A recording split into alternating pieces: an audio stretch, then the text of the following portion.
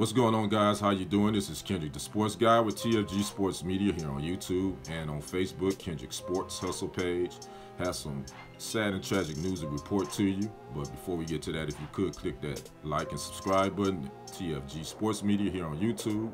Flip on over to Facebook and click that like button for Kendrick Sports Hustle page. A University of Utah football player was killed overnight in a shooting in Salt Lake City, Utah. Salt Lake City Police did confirm 21-year-old Aaron Lowe of Mesquite, Texas, died in that shooting and another person was also injured. The shooting happened around 12.30 a.m. Sunday in the 2200 block of South Broadmoor Street.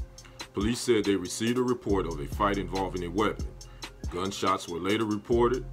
In addition to Lowe, an adult woman was also shot and taken to the hospital in critical condition, police said. Her identity was not immediately released.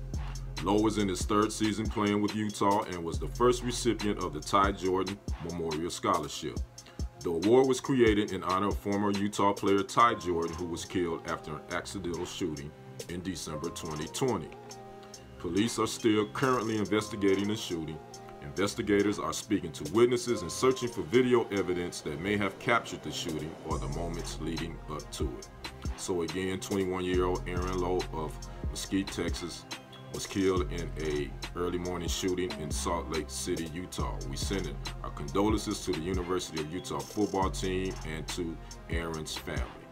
This has been your sports guy Kendrick with TFG Sports Media here on YouTube and on Facebook, Kendrick's Sports Hustle. So until next time, peace.